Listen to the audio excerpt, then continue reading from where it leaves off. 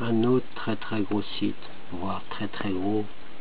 Alors pour une personnalisation de t-shirt, ça ce sont les différents t-shirts proposés pour la personnalisation. Vous allez prendre le nôtre qui fait 205 grammes, que je vous parlais, Fruit of the Loom.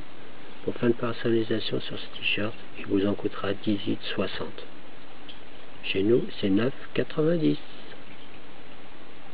Ben, c'est deux fois moins cher en fait, tout simplement. Voilà.